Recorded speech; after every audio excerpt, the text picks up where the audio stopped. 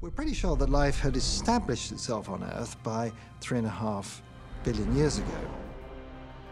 But the question already conceals an assumption, which is that life on Earth began on Earth. We don't know that's so. It could be that life, for example, began on Mars and then came to Earth.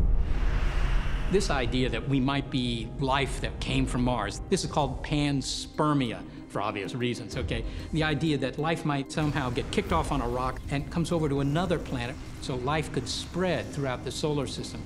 There's no reason that couldn't have happened.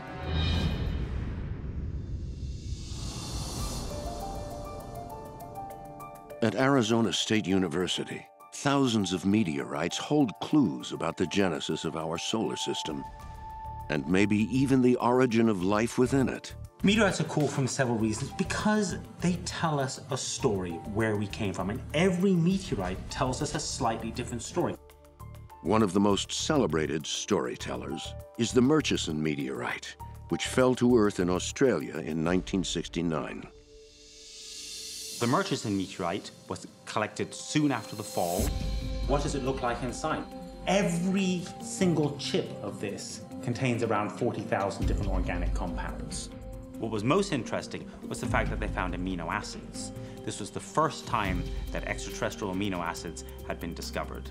Amino acids uh, are very important for life as we know it. Anytime you're talking about cells taking in materials from outside and doing some kind of chemical processing to release energy, at the heart of that process are going to be amino acids. What we're trying to answer in astrobiology is the ultimate question that is life something that is uh, easy to make, or is it a bizarre fluke that might be restricted to Earth? And of course, if life has happened twice, then surely it's happened many, many times all around the universe. This is an invasion, people. Y'all want to know the truth about E.T.? Right here, y'all. There are those who believe the aliens are puppeteers, engineering life to dominate. Or at least survive here. Are you feeling warm? Mm-hmm. Is Earth being used as a giant lab experiment? And are we the guinea pigs